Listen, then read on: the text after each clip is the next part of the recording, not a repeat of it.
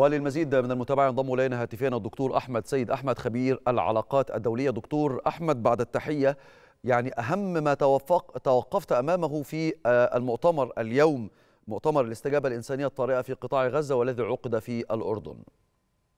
تحياتي لك ولكل مشاهدينا الكرام في الواقع أني توقفت عن كثير من المحطات أو الرسائل والدلالات المهمة.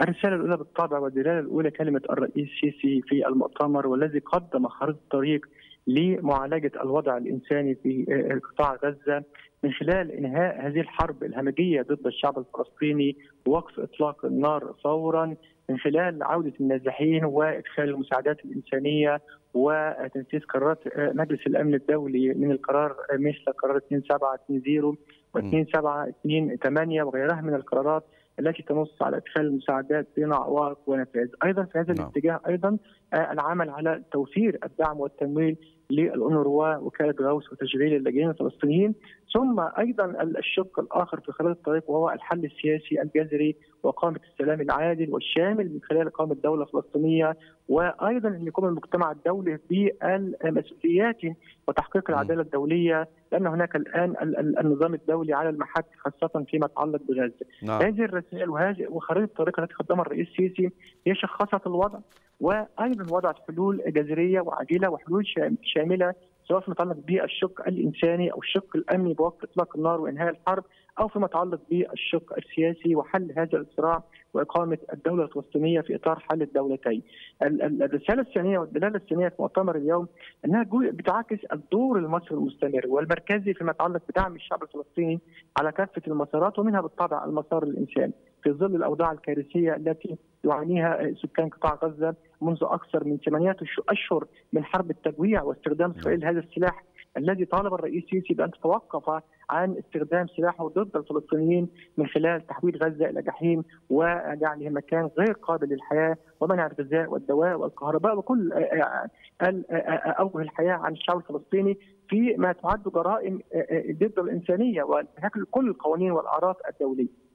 وبالتالي هذا المؤتمر هو جزء من الدور المصري المستمر سواء فيما يتعلق بالمساعدات المباشرة حيث قدمت مصر أكثر من 87% من المساعدات للمقدمة لقطاع غزة. نعم. سخرت كل إمكانياتها لاستقبال المساعدات العربية والأجنبية. أيضا حشش الدعم الدولي في اتجاه دخول المساعدات والعمل على زياده هذه المساعدات من خلال هذا المؤتمر الذي راه أين اليوم في المملكة الأردنية الشقيقة. والتي لها أيضا دور مهم إلى جانب مصر فيما يتعلق بدعم الشعب الفلسطيني على المستوى الانساني. الرسالة الرابعة مهمة حقيقة في مؤتمر اليوم أنها بتضع المجتمع الدولي والكره في ملعبه خاصة المجتمع الغربي والمنظمات الدولية سواء الحكومية الامم المتحدة أو منظمات المجتمع المدني التي حقيقة كانت دائما تنادي بشعارات حقوق الإنسان والحريات وكل صحيح. غيرها لكن في في غزة انكشف القناع ووجدنا الازدواجيه في المعايير وجدنا تغاضي عن جرائم إسرائيل بل وجدنا تسييس الإنسانية من جانب الدول الغربية عندما قامت بقطع التمويل عن الانروا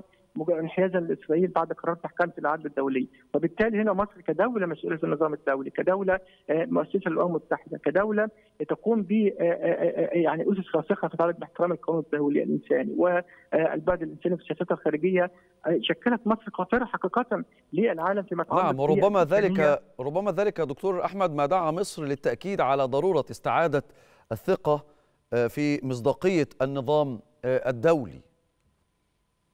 بالطبع هذه نقطة مهمة لأن النظام الدولي كان يعني نقول بكل صراحة هو سقط في اختبار قطاع غزة، يعني هناك ازدواجية غربية واضحة، يعني انتفض الغرب مع أوكرانيا على سبيل المثال ولم ينتفض ضد ما تقوم به إسرائيل من جرائم، يعني أرقام يعني مرعبة منذ الحرب العالمية الثانية، أكثر من 37 ألف شهيد معظمهم النساء والأطفال، رأينا المجازر وراء المجازر وآخرها طبعا مجزرة النصيرات التي سقط فيها مئات الشهداء الفلسطينيين، أيضا يعني منع التجويع منع الحصار وغلق المعابر ومنع الغذاء والكهرباء والمياه النظيف كلها جرائم حرب جرائم متكاملة. ومع ذلك الغرب وقف صامتا بل أحيانا مبررا لما تقوم به إسرائيل عندما يصرح كثير من المسؤولين الغربيين بأن ما تقوم به إسرائيل ليس جرائم إبادة، ماذا تعني هذه الجرائم؟ لم تكن إبادة؟